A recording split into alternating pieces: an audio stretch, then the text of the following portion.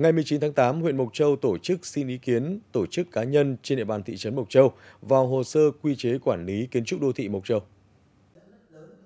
Quy chế quản lý kiến trúc đô thị Mộc Châu, tỉnh Sơn La có phạm vi khu vực nội thị đô thị Mộc Châu với tổng diện tích tự nhiên khoảng trên 158 km vuông.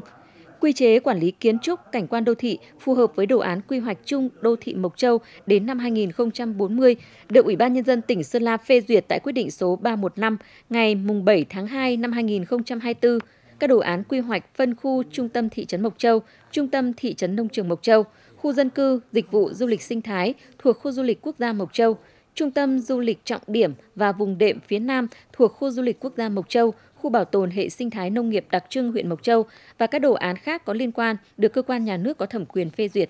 Cụ thể hóa các quy chuẩn, tiêu chuẩn kỹ thuật quốc gia về quy hoạch, kiến trúc và xây dựng để quản lý kiến trúc đô thị phù hợp với điều kiện thực tế của đô thị Mộc Châu, làm căn cứ để xác lập nhiệm vụ và nội dung quy hoạch phân khu, quy hoạch chi tiết chỉnh trang đô thị, thiết kế đô thị, quy định nội dung cấp phép xây dựng mới, cải tạo chỉnh trang các công trình kiến trúc đô thị. Quy chế cũng quy định cụ thể trách nhiệm của các cơ quan tổ chức cá nhân trong việc thực hiện quy chế quản lý kiến trúc, xây dựng quy chế quản lý kiến trúc đô thị Mộc Châu đáp ứng các yêu cầu quản lý đô thị theo quy định pháp luật hiện hành, phát huy các cơ hội phát triển kinh tế xã hội, phát triển đô thị của huyện Mộc Châu, thị xã Mộc Châu trong tương lai.